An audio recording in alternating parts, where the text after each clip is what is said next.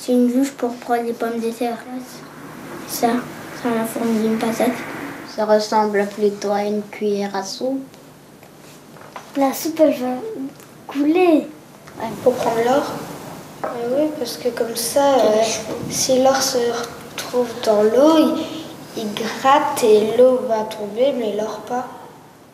Pour chasser Ça servait à prendre quelque chose, hum, quelque chose qui se trouve dans l'eau, euh, comme des petites crevettes. Quand il y a de l'eau dans les pattes, pour prendre les œufs, les œufs chauds, comme ça. C'est une cuillère pour ramasser les œufs.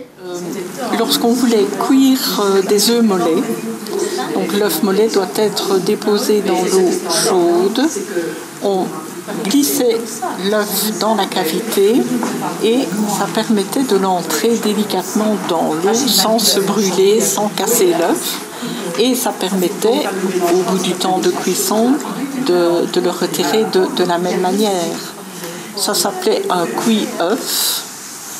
Et nous l'avons aussi trouvé dans la même ferme, dans des objets qui avaient été laissés par les propriétaires précédents.